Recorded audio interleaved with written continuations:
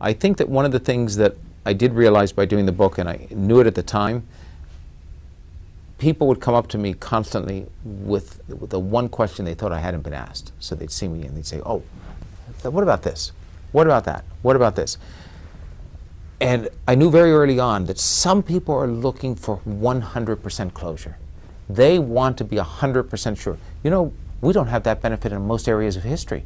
I'm sorry, if you want to look at the attack on Pearl Harbor and you want to debate whether Roosevelt might have had pre-knowledge of the attack or things like that, you can look at the credible evidence and come to the conclusion that I think he did not. But you know what? Are you going to be 100% sure? No. If you look at almost any area of history, the best you can do is examine what's available for the credible evidence and draw as a researcher or a historian or a journalist your conclusions based upon that evidence.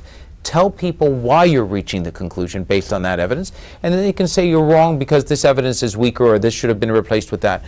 But do you come to a conclusion about what happened? I'm convinced that the historical truth of what happened in the murder of John Kennedy is that Lee Harvey Oswald alone killed him. Can anybody be 100% certain? No, but am I convinced enough that that's the, what happened to be able to say it and put forth a book on it? Yes.